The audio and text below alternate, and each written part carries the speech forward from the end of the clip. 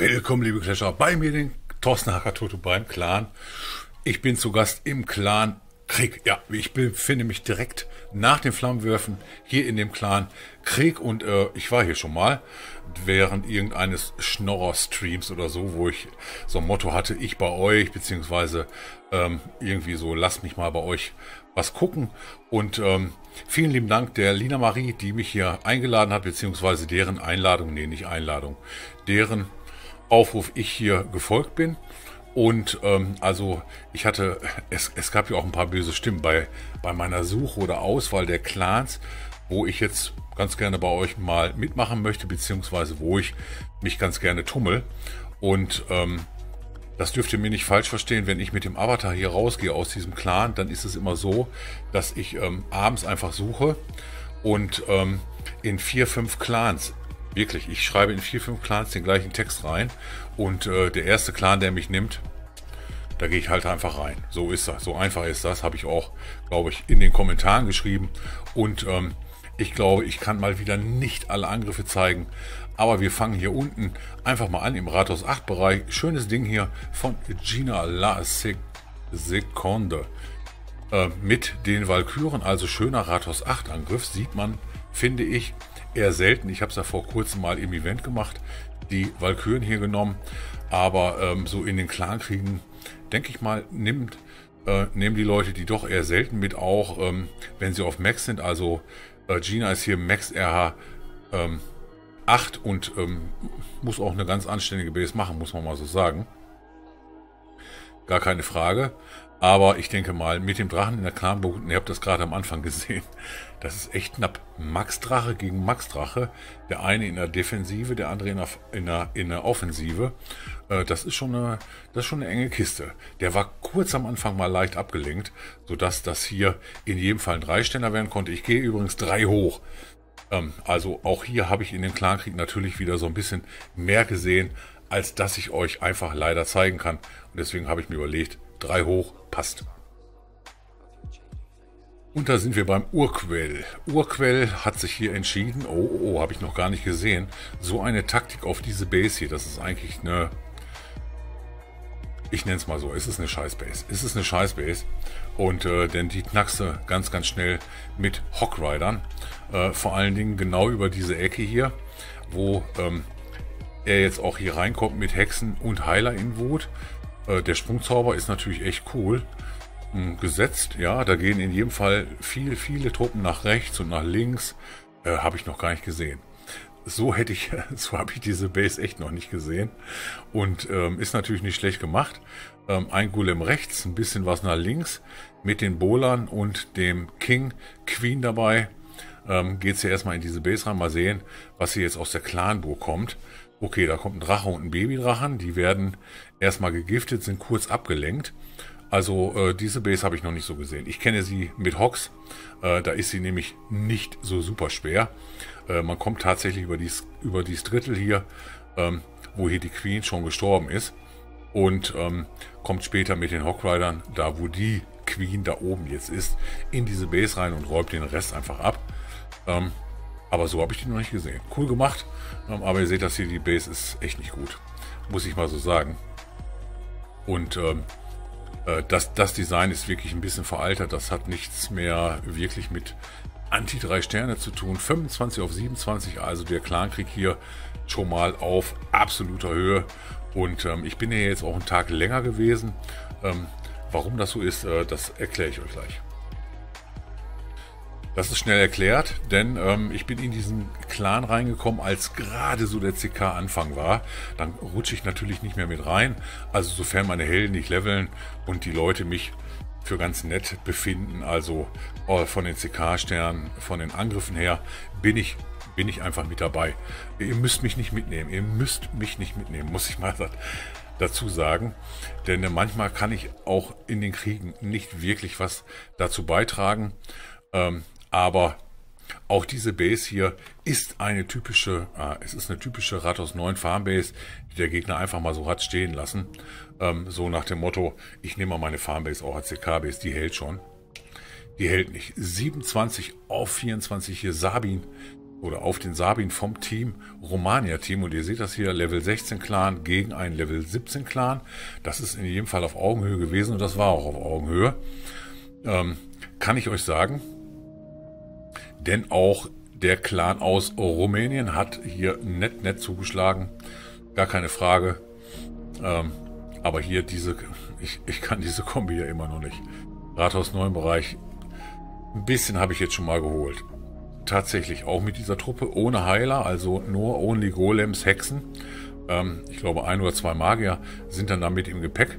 Und ähm, ich kann die immer noch. Noch nicht wirklich.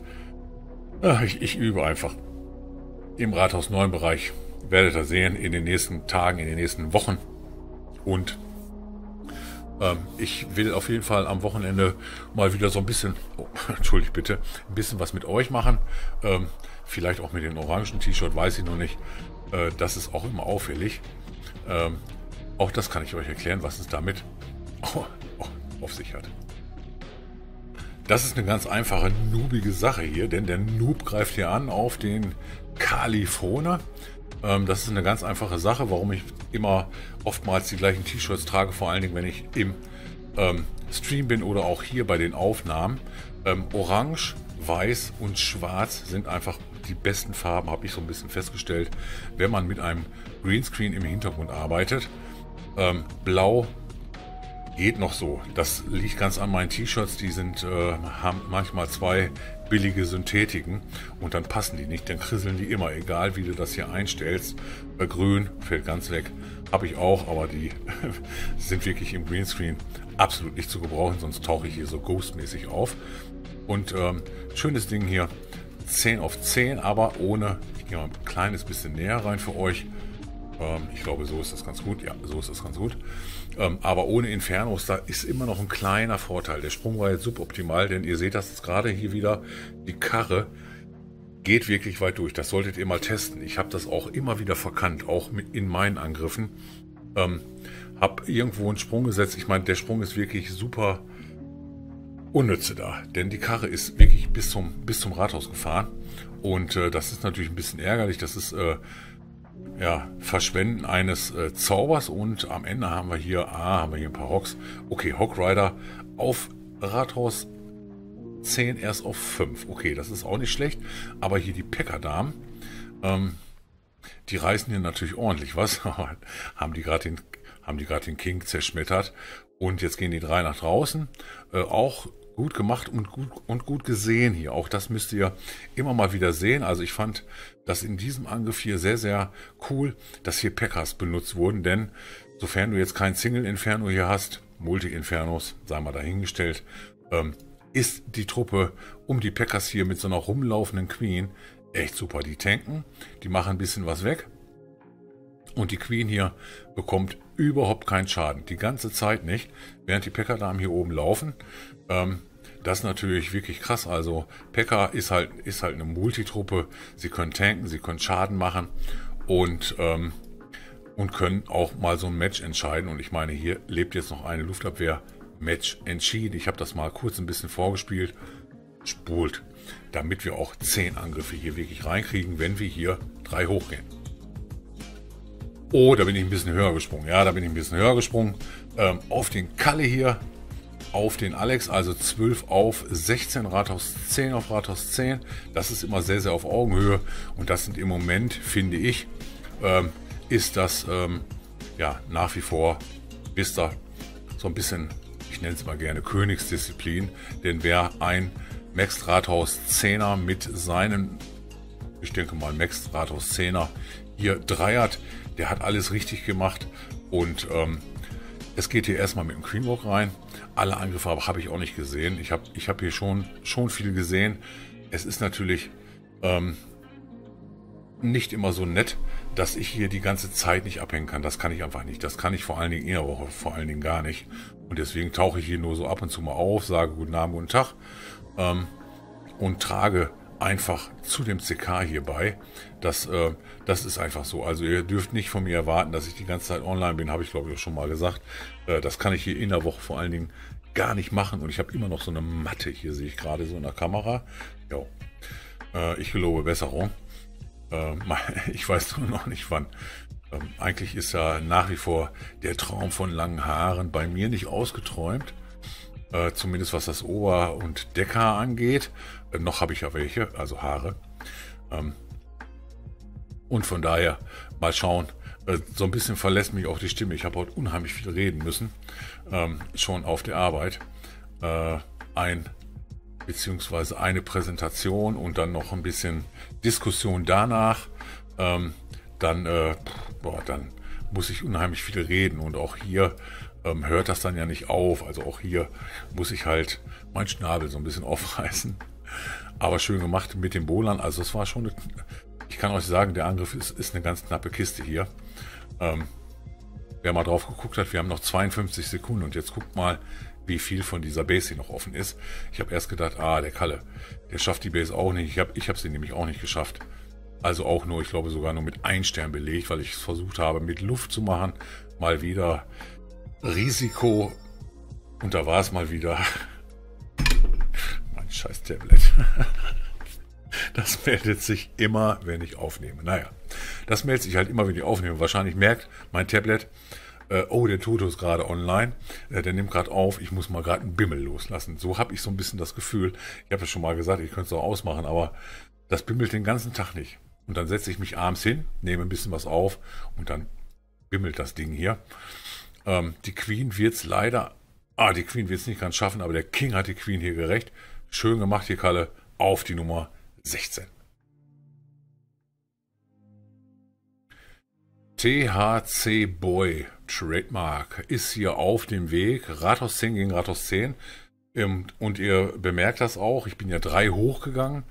Ähm, es geht schon in Regionen, wo es so, Richtung Maxed geht. Ja, also vor allen Dingen hier Maxed RH10 auf RH10.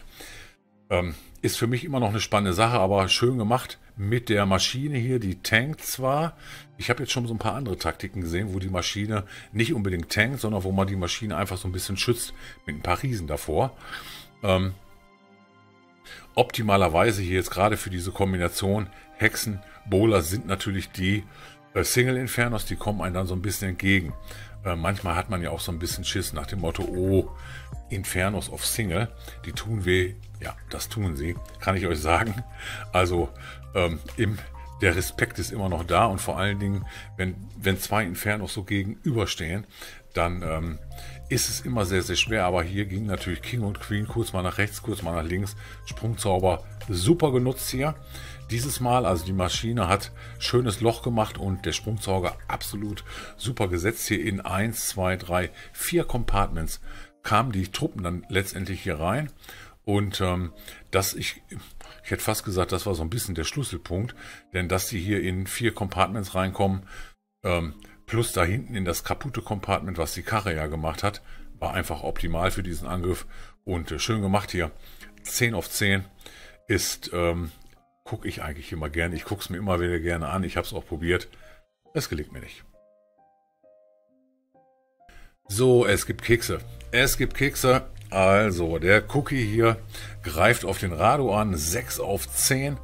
Das ist exakt 3 höher. Und wir gucken mal, wie er sich gegen diese komische äh, BVB-Base durchgeschlagen hat. Also früher habe ich immer gedacht, oder hat sich einer eine BVB-Base gebaut, wenn er schwarze und goldene Mauern hatte. Äh, du konntest die Dinger ja nicht angucken, da hast du Augenkrebs gekriegt. Aber hier mit ähm, geballter Kraft hier rechts und links, also das ist dann auch schon, ah, wie macht man das? Wie, wie macht man das? Wie fängt man so einen Angriff hier am besten rein oder ein? Und ähm, es geht ja jetzt wirklich alles hier, hier unten rum mit King davor Bowler, Hexen dahinter, wunderbar. Hier oben Bowler, Warden, Hexen, alles dabei. Und ähm, die Karre geht hier ganz munter ihren Weg. Richtung Rathaus ist jetzt noch halb voll. Ähm, auch das natürlich super, die ist super geschützt worden, die Karre. Äh, mal sehen, was er, ich denke meistens ein er, was er da drin hatte. Ah, da kommen ein paar Valkyren raus, wunderbar, die sorgen hier nochmal für Trouble außen. Äh, jetzt müssen wir nur noch so ein bisschen gleich die Mitte entkernen. Und ähm, dann ist das hier so ein, so ein Rundumlauf gewesen. Das muss ich mir mal merken, denn so eine Base hier, die ist auch im Rathaus-Szene-Bereich sehr, sehr beliebt. Und ähm, dann weiß man mal, wie man die machen kann. Sprungzauber super genutzt. Hier, du kommst einfach nicht über beide Compartments durch. Also viele sagen jetzt, ah, der Sprung war doof. Er hätte vielleicht noch den anderen Rand erreicht. Vielleicht, aber ich glaube, zwischen den Mauern da in der Mitte sind sieben Felder. Das packt der Sprung nicht. Oder zumindest nicht ganz. Vielleicht hätte das gepackt. So also ein bisschen mit Exploit ausnutzen oder so. Aber schönes Ding. Hier von Rathaus 11 ist das allerdings schon. Entschuldigt bitte auf Rathaus 11. Und ähm, also hier oben nähern wir uns jetzt schon in Region, wo es ein bisschen spannender wird. Wo auch der Krieg, glaube ich, entschieden wurde. Bum Bum Böck. Bum Bum Böck hat hier zugeschlagen auf die Nummer 7 vom Team Romania Team. Ähm, herzlichen Dank übrigens nochmal, dann äh, kann, ich, kann ich das kurz mal ansprechen nochmal. Ich glaube, ich habe es am Anfang schon gesagt äh, der Lina Marie, der Liederin, ähm, die mich hier äh, animiert hat, beziehungsweise die mir wahrgenommen hat. Ähm, als ich gesucht habe und äh, ich war jetzt schon, oder ich war hier jetzt, ich glaube, warte mal, einen Tag vorher, zwei Tage Krieg, einen Tag danach, wegen Aufnahme, halt spät abends. Ich war insgesamt jetzt vier Tage hier und äh, so ist das halt manchmal. Das macht mir überhaupt nichts, ähm, sondern ich kann hier immer noch ein bisschen spenden, kann immer noch ein bisschen was empfangen, kann Events spielen. Und äh, nicht nur Klarkrieg, sondern kriege auch so ein bisschen was außenrum mit. Ihr seht das auch hier. Hier wird gebettelt, hier wird äh, gefordert und ähm, ja, ist halt ein ganz normaler, ganz normaler Clan, aber äh, tolle Aktivität hier. Und äh, 30er Clankrieg hat mich natürlich super gefreut. Deswegen wird diese Folge auch über 20 Minuten lang. Das ist einfach so, damit wir hier möglichst viel reinkriegen. Alles kann ich nie zeigen, sonst müsste ich 30 Angriffe zeigen in mal 4 hier und dann macht so, ein, so, eine Folge überhaupt keinen Spaß, weder mir noch euch. Ähm, schön hier die Queen am Ende gezündet. Ähm, ich sehe es gerade, es ist schon Rathaus Silver. Oh, es ist 12. 12 auf 11. Okay. Ähm, Habe ich mich gerade vertan mit 11 auf 11. Entschuldigt bitte. Ähm, ist mir, ist, woran ist mir gerade aufgefallen? Es ist mir gerade daran aufgefallen, dass die Bogenschützin bei einer Queen über 50 ähm, wieder so eine komische Farbe annehmen, äh, die eigentlich gar nicht zu der Queen passen. Beziehungsweise, wenn man die Bogenschützin, glaube ich, schon auf Level 8 hat, äh, die sehen eigentlich aus wie Level 1 und 2 Bogenschützen. Ich finde das Design nicht so schön. Die hätten sie ein bisschen böser machen können. Wir gucken mal hier unten in die Ecke, was die Queen mit dem Warden hier noch reißt. Ähm, hier, ich sehe ich, ich seh hier unten noch einen Magier. Und ähm, die Queen ist nicht mehr zündbar, ist aber nicht so schlimm. Der Warden tankt hier. Der Warden tankt hier super. Ähm, jetzt ist da oben noch ein X-Bogen. Hier hinten ist noch eine Kanone. Oh, oh, oh, oh, oh. Da ist noch eine Kanone. Aber ich glaube, so eine fast volle Queen hier und eine Kanone außen. Das ist nicht mehr ganz das Ding. Jetzt spule ich das wirklich mal vierfach vor. Also gut gemacht hier. Ah, die Bases waren teilweise riesig hier. Ähm, ist vielleicht der neue Clou in Clash of Clans oder die neue Base Meta, keine Ahnung, das so groß zu machen, dass du es zeitlich nicht schaffst. Und wir haben hier Sam Mum vom Clan Krieg gegen einen Rathaus, was ist es, auch ein Rathaus 11 noch, also 2 äh, auf 4, das heißt, wir hatten selber, glaube ich, dann nur ein oder zwei Zwölfer mit dabei, der Gegner Dito. Und ähm, hier geht das mit der Kombi, ja, ich mag es eigentlich nicht so meine, ich weiß nicht, mit 280 Truppen und so einer Kombi hier ähm, erst das Rathaus mitnehmen und dann den Rest der Base ist immer sehr, sehr schwer. Das Rathaus hat schon mal viele Trefferpunkte. In der Regel ist es auch gut, gut verteidigt. Und ähm, hier geht es jetzt erstmal mit geballter Kraft, ohne Mauerbrecher, ohne alles, durch die ersten ähm, Mauern-Compartments durch. Ähm, vielleicht macht es da die Masse der Truppen. Vielleicht macht es die Masse der Truppen. Ich habe ja auch gestern, glaube ich, oder vorgestern in meinem Video gesagt, wenn du dippen musst, dann dipp mit dieser Kombination hier. Die geht immer. Also von 10 äh, auf 9, von 11 auf 10, von 12 auf 11 womöglich auch. Ähm, schwer zu sagen, aber so 11er Bases sind ja doch schon äh, dann ganz gut verteidigt und ähm, hier haben wir zwar ein Rathaus äh, 12 als Angreifer, ich denke mal schon mit 280 Truppen, aber 51er Queen, 25er Warden, das ist noch absolut zu verteidigen im Rathaus 11 Bereich, denke ich mal. Ähm, je nachdem, wie er angegriffen wird und eigentlich hätte ich fast gesagt, es ist zwar noch Zeit ohne Ende, aber wenn ich, wenn ich hier sehe, dass hier noch zwei Infernos leben und boah, so wirklich wenig Truppen noch da sind, aber Queen noch zündbar, ein Wutzauber noch dabei. Mal sehen, wann der, wann der genommen wird oder ob er überhaupt genommen wird. Äh, denn irgendwo willst du natürlich in den Clankriegen immer alles geben. Also alles an Truppen, alles an Zauber, was halt da ist. Und ähm, es ist jetzt, äh, eigentlich ist, eigentlich ist nicht mehr viel da. Genau, es werden auch nur zwei Sterne. Ist aber nicht so schlimm, habe ich euch auch schon mal erklärt. Ich kann nicht immer nur drei Sterne zeigen. Ich werde auch auf zwei Sterne runtergehen, auf gute Angriffe. Also 12 auf 11 ist doch nicht immer ein Dreier.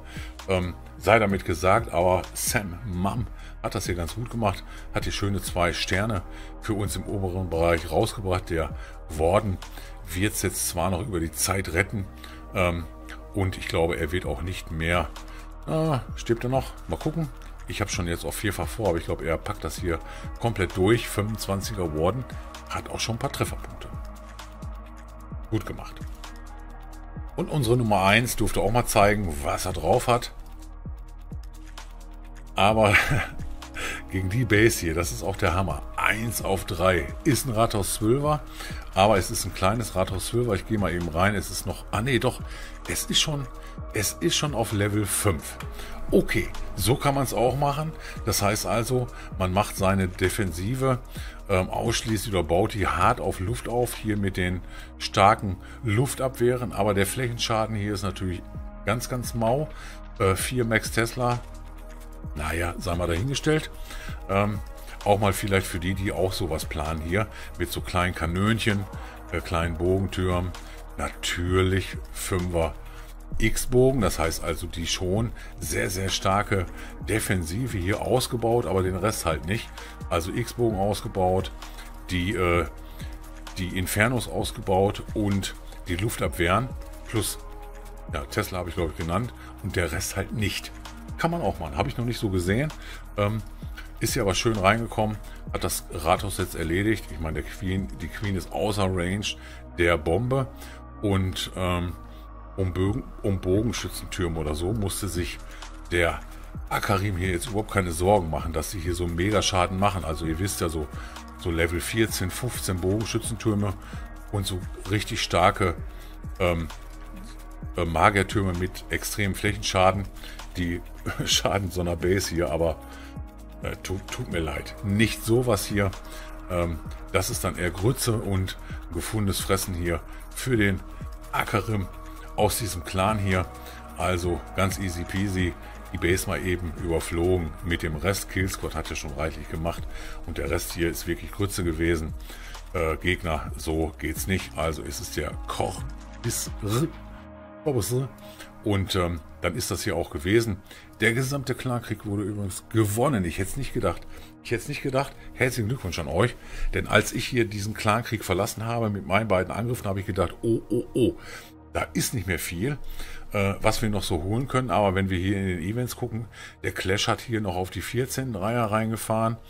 Äh, Blutbad, Basti hat auch nochmal zugeschlagen auf die Nummer 11. Und der Gegner hat so gut wie nichts mehr geholt mit seinen letzten Angriffen. Das seht ihr hier. Ähm, also hier oben ist das Ding nochmal super gewonnen worden. Ähm, Glückwunsch ähm, zu euch da draußen, beziehungsweise in den Clan, in den Clankrieg, in den Clankrieg, was ein Wortspiel. Sie sind auch aktuell wieder im CK. Ähm, ich stelle euch den Clan ganz kurz einmal vor. Das habe ich am Anfang leider vergessen, habe ich bei den Flammenwürfen leider auch vergessen. Biedermänner, Ego, Egomanen und Einfallspinsel. Obacht, wir kennen euch. Suchen nette aktive Spieler mit starken Dorf und dicken Helden. Fun Clash. Au!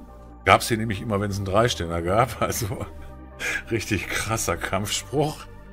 Hashtag, Hashtag gut. Ähm, Pot Luck Rambazamba. Oder Good Luck Rambazamba heißt es, glaube ich, denn der, oh ne, das ist der Sweet Clan, gegen die sie gerade spielen. Mal sehen, wie sie sich hier schlagen. Ich werde hier jetzt rausgehen. Ähm, werde mir einen neuen Clan suchen, wie auch immer, mal wieder random.